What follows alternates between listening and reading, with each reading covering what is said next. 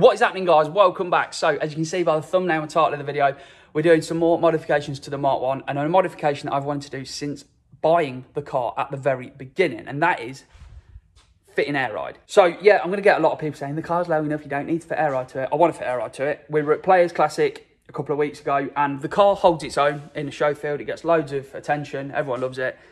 It gets really well received. But for me, it was just lacking one thing.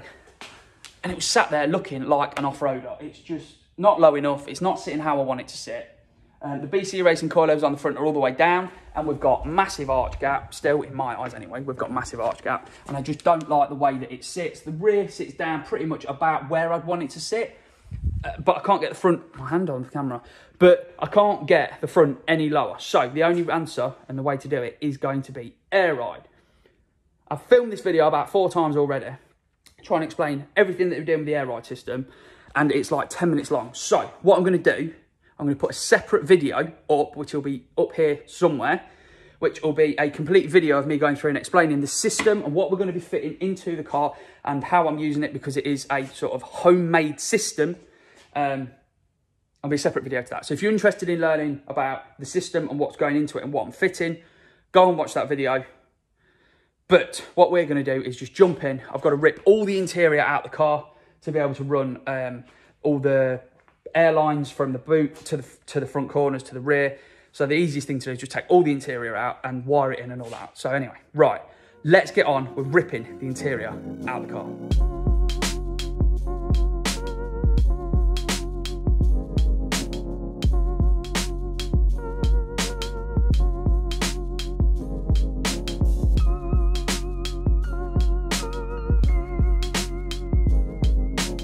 Right guys, apologies I've not filmed as much as I thought I was going to, but sit rep on what we've done so far. So I've got everything mounted and bolted down into, temporarily, into the uh, spare wheel tub, if you like. Everything is wide up. Relay is down there.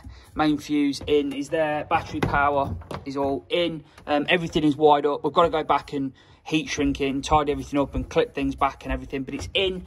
Uh, feed here runs round to the compressor, to the manifold from the tank, and I've also done and joined all of the wires together for the controller and we've spliced an ignition watt live for the controller off of the main ignition live for the relay which we've gone down actually to the fuse board and on the right hand side of the fuse board here this one these blades here sticking up are ignition live, which is nice. These ones are permanent live. There's a few this side.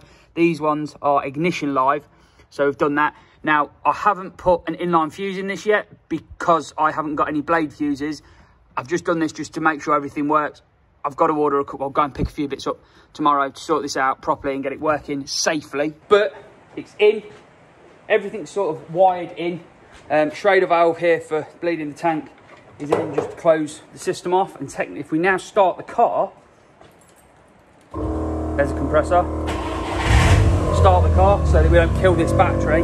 So there we go. The compressor is filling up the tank, which is then putting air into the manifold. Now, I've got the buttons the wrong way around, so down is up and up is down, but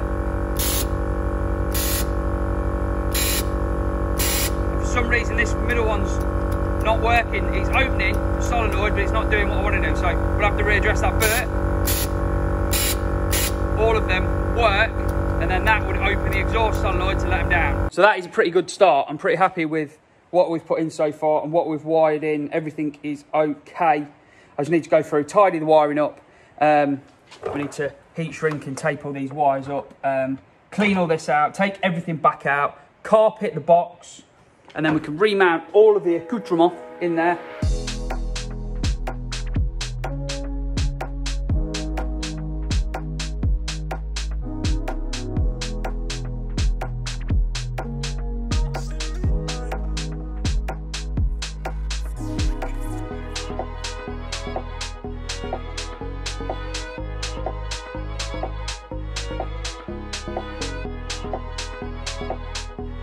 There we go box didn't trim the best, but manifold's in, everything's plugged in, plumbed in, tank is all in, um, compressor's all bolted in, we've got the relay down there, fuse down there, main power feed coming out this side, we've got the remote drain, or the remote with the Schrader valve on it, that we're going to drill a hole in the side of the uh, spare wheel well that, that will then go through. We've got what we got here? ignition feed, earths, other earth, and the control box all sorted out. So we can go and drop this into the car now.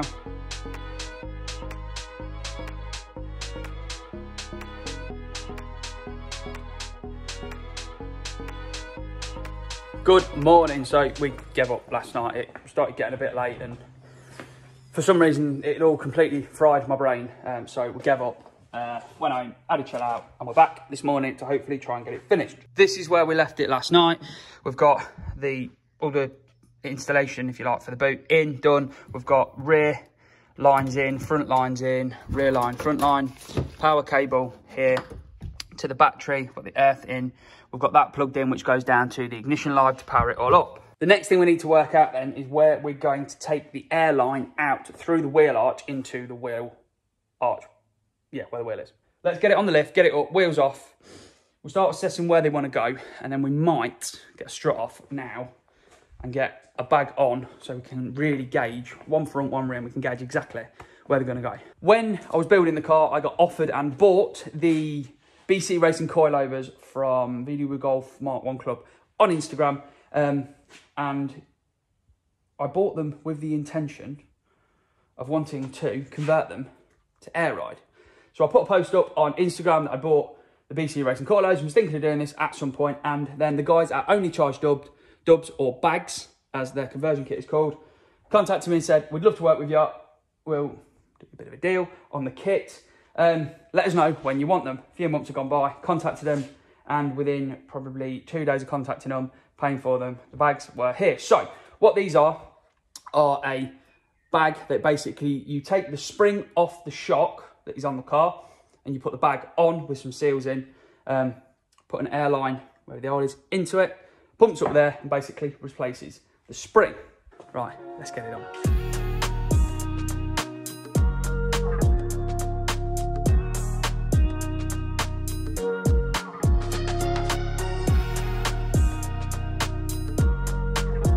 Yet again, welcome to a new day. So we nipped in for a few hours yesterday to try and get a few bits done. Um, nipped home for lunch and then proceeded to not do anything because I was absolutely knackered from last week. So we got in yesterday. We've got the bags on the struts this side, airlines all in on the front, and then the bags on the strut for the rear and the airlines all in. Um, all the airlines inside the car are now ran to the places that they need to go to. We've got a grommet coming through here to allow the airline through, which has been Sikaflex in as well. Now, I did all that so that I sort of had a bit of an idea of what I was doing because I like to know what I'm talking about when I'm explaining how to do things. So I've got the struts off the car and I'll be honest, I have already done the conversion on them. The video is going to get too long. I've put all this information in. So there's a separate video for the BC Only Charged Dubs BC Racing Air Ride conversion kit, which I'll put a link to up here. Um, here's a time lapse of me sort of doing all the conversion on them. Um, if you want to know more about that, watch the video that's linked above and in the description. Um, yeah, it's just going to get a little bit too long. So, show you the time lapse. See you back in a minute.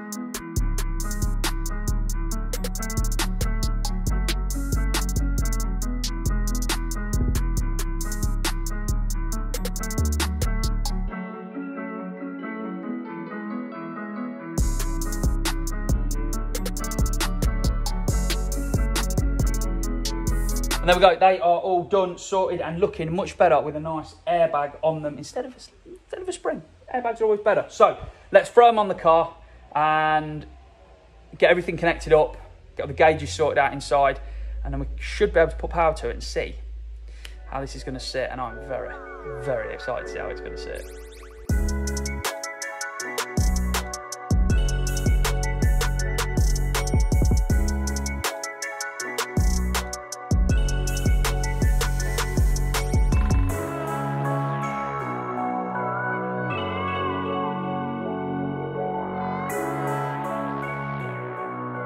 There we go then.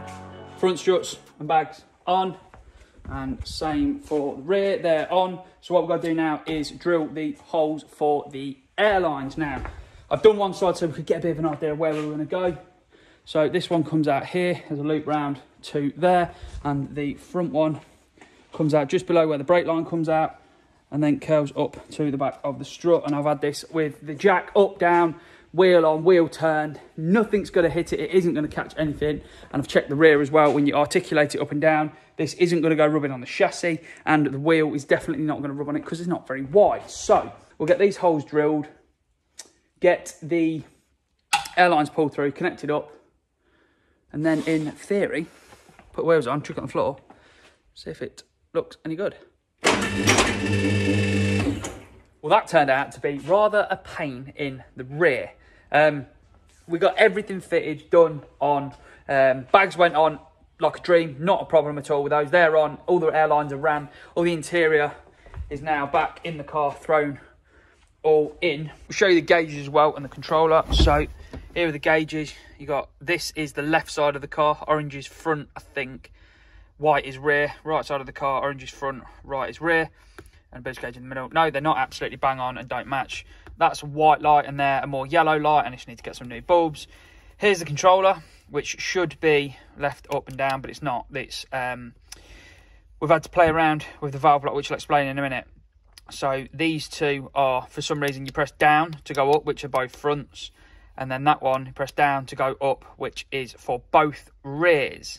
And the reason being, we got everything in, done, fitted, absolutely fine started going around and playing with settings on the controller and airing every airing places or airing corners up.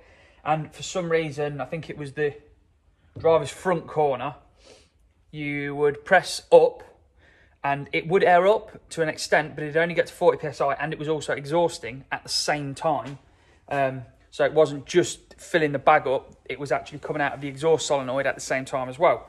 So we took the valve block out about genuinely took it out stripped it about four times, changed um, solenoids over from areas, cleaned everywhere out, put it back together, took the um, um, like the electromagnetic electronic side of it off, took all of the um, silicon sealant off of all the joints to make sure that no uh, solder was touching, which meant that both would be running at the same times. We've checked absolutely everything and we cannot find a, the problem with the valve block. We can't find why it's doing it and why it isn't working properly. So what we've done for now, show you this as well. There's the install. It's all on the on the twist a little bit because we've just thrown it in there to because it was getting all stressy yesterday. Um, but what we've done is this here is a bit of a bodge. So this is a bit of airline that's folded over with a load of cable ties on it to stop the pressure coming out. This this is the the one that we've been having the problems with. Um, there, front, left, and right, and this one here is now both rears, which we have brought up here, and we've put a T in here to just feed both of the rear bags from the one valve, which is essentially the same way as running two-way management if you were just going to have two sort of paddle valves and you were just going to run the rear as one and the front as one, which isn't the best because, and I've just been out and driven this, and the ride is 10 times better than it was on coilovers, but if you start trying to give it a bit and lean into corners and things, obviously on the rear as the two bags are linked, as air, as you lean in and that one compresses and wants to compress the air, it pushes the air through the airline to the easier bag, which then essentially pushes that corner up, which wants to throw the car all over the place. And as you're sort of going through twisties, it really, really unsettles the car. And I highly would not recommend running two-way on them. It's not the best at all. But it's fitted, it's in, it does work, it does go up and down. I'll pull it back and I'll we'll air it out, show you what it looks like aired out. It looks pretty cool.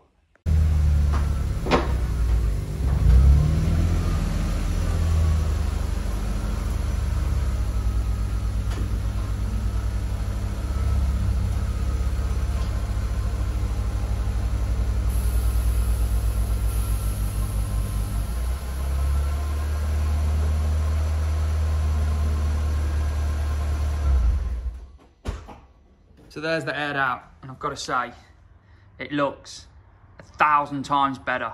The front still isn't down, enough, quite where I want it to. We're going to have to try and do something with that. The rear is sitting pretty much where I want it to sit. It's tucking, tucking the wheel, but the front still leaving a little bit to be desired. But yeah, that is a massive, massive improvement. Makes life easier.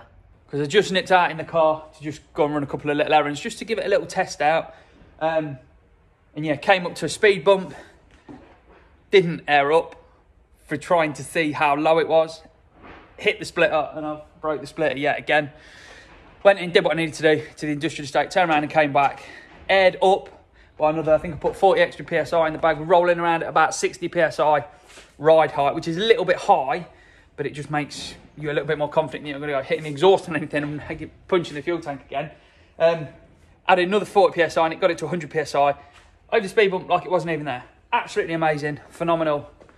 Yeah, absolutely brilliant.